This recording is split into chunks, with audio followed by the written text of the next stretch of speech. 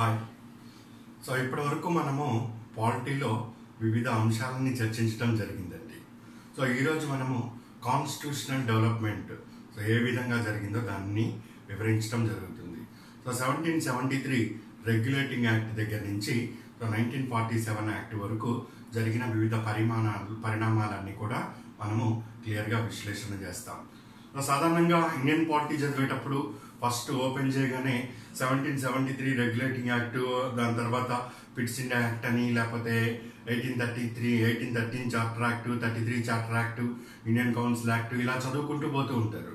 So ఎవరైతే సరే కాస్త అవగాహన ఉన్న వాళ్ళు పాలిటీ మీద అవగాహన ఉన్న వాళ్ళకైతే అదేమీ పెద్ద ప్రాబ్లం కాదు కానీ ముఖ్యంగా సైన్స్ స్టూడెంట్స్ ఎవరైతే దీని మీద ఫోకస్ చేస్తూ ఉంటారో కాంపిటేటివ్ ఎగ్జామ్స్ మీద వాళ్ళకి ఇది లిటిల్ బిట్ కాంప్లికేటెడ్గా ఉంటూ ఉంటుంది. సో వాళ్ళు చాలా పట్టుదలగా చదువుతూ ఉంటారు. కొంత చదివేసరికల్లా అది డ్రై అయిపోతూ ఉంటుంది. వెంటనే ఫండమెంటల్ రైట్స్ వస్తాయి. అది ఇంకా డ్రై అయిపోతుంది. పాలిటీని పక్కన పడేస్తారు. సో ఎక్కడైతే స్కోరింగ్ ముందు నుంచి వస్తుందో దాన్ని వదులుకోవటం జరుగుతూ వస్తుంది.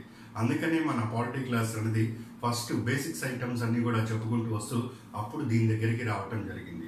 ఈ seventeen seventy three regulating act దగ్గర నుంచి మీకు అర్థం కావాలి అంటే అసలు కాన్స్టిట్యూషన్ దేని గురించి చెప్తున్నదో మనకు అర్థం కావాలి.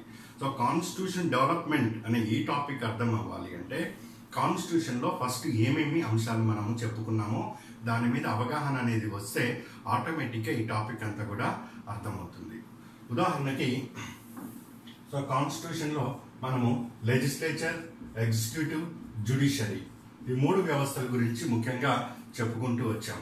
లెజిస్లేచర్ అన్నది శాసన వ్యవస్థ ఈరోజు శాసనాలన్నీ కూడా పార్లమెంటు కేంద్రంలో అయితే రాష్ట్రాలు అయితే రాష్ట్ర శాసనసభ రూపొందిస్తూ ఉంటున్నాయి. అంటే ఈ పార్లమెంట్ అనే ఒక వ్యవస్థ ఎలా ఏర్పడింది అనేది ఈ యాక్ట్లో చెప్పుకుంటూ వస్తారు.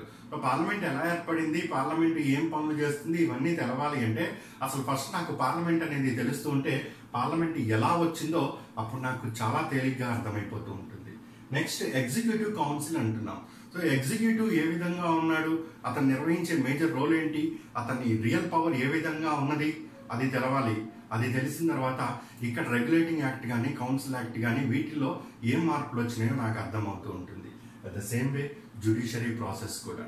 సో ఈ విధంగా ఫస్ట్ బేసిక్స్ ఎవరైతే పూర్తి అవగాహన కలిగి ఉంటారో వాళ్ళు seventeen seventy three regulating act నుంచి నైన్టీన్ ఫార్టీ సెవెన్ వరకు వచ్చే ఏ ప్రశ్న అయినా కానీ అవలీలలుగా అర్థం చేసుకోవడానికి అవకాశం ఉంటుంది.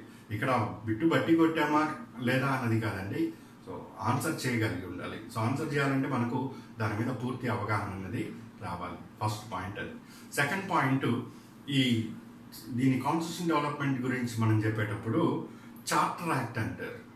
దాని తర్వాత Indian council act eighteen sixty one nineteen ninety nineteen naught nine. ఇట్లా ఒక దాన్నేమో చార్టర్ యాక్ట్ అని పిలుస్తాడు. ఇంకో దాన్నేమో ఇండియన్ కౌన్సిల్ యాక్ట్ అని పిలుస్తాడు. ఇంకో దాన్నేమో గవర్నమెంట్ ఆఫ్ ఇండియా యాక్ట్ అని అట్లా పిలవటం జరుగుతుంది.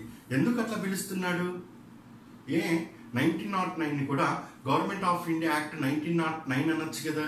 దాన్ని Indian council act nineteen naught nine అని ఎందుకు పిలుస్తున్నాడు?